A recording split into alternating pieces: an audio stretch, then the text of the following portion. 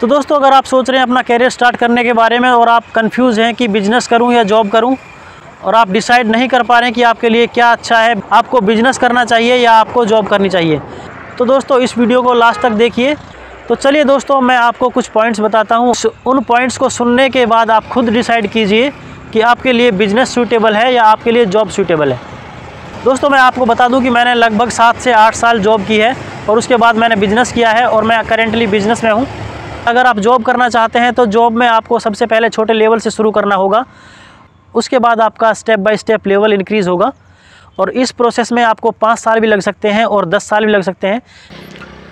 तो दोस्तों बिज़नेस ऐसा है, अगर आप बिज़नेस करते हैं तो बिज़नेस में वो जॉब वाली जो मेहनत है आप बिज़नेस में करते हैं तो दो से तीन साल में आप उस लेवल पे पहुँच जाएँगे, जो जॉब में आप दस साल पे पहुँचते हैं।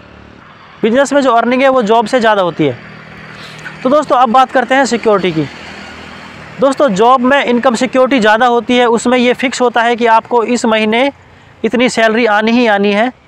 आपका काम चाहे भले ही थोड़ा ऊपर नीचे गया हो, लेकिन आपकी जो सैलरी है, उस पर इफ़ेक्ट नहीं पड़ेगा। आपकी सैलरी टाइम पे आपके अकाउंट में आ जाएगी। तो बिज़नेस में ऐसा होता है, अगर किसी महीने में आपका काम डाउन है तो उस महीने में आपकी अर्निंग भी कम होगी। तो तीसरा जो डिफरेंस आता है वो है वर्क लाइफ बैलेंस बिज़नेस में आप अपनी मर्ज़ी से कहीं भी आ जा सकते हैं, अपने हिसाब से वर्क आवर सेट कर सकते हैं। बिज़नेस में आप अपने बॉस खुद होते हैं। जॉब में आपके ऊपर एक बॉस होता है और उस बॉस की आपको सुननी होती है वही आपके वर्किंग आवर डिसाइड करता है। तो अब आते हैं लास्ट पॉइंट पर जो सबसे बड़ा और इम्पोर्टेंट पॉइंट है। दोस्तों, वो ये है कि बिज़नेस में आपको एक कैपिटल अमाउंट की ज़रूरत होती है। और जॉब में दोस्तों आपको किसी कैपिटल अमाउंट की ज़रूरत नहीं होती, वहाँ पे सिर्फ़ आपका टैलेंट चलता है। अगर आपके अंदर कोई टैलेंट है, आप एजुकेटेड हैं या किसी फ़ील्ड में आपकी नॉलेज है तो उस फ़ील्ड में आप जाकर कहीं पर भी जॉब ले सकते हैं। अगर आप सोच रहे हैं कि बिज़नेस ही करना है तो आप यहाँ पर पाँच सौ से भी बिज़नेस शुरू कर सकते हैं। तो दोस्तों, यहाँ पर आपको मार्केट में कई ऐसे बिज़नेस दिख जाएँगे, जिनमें आप लगभग पाँच सौ इन्वेस्ट करके वो बिज़नेस कर सकते हैं।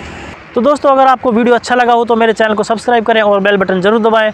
कल फिर मिलते हैं एक नए वीडियो के साथ। तब तक के लिए खुदा हाफिज़।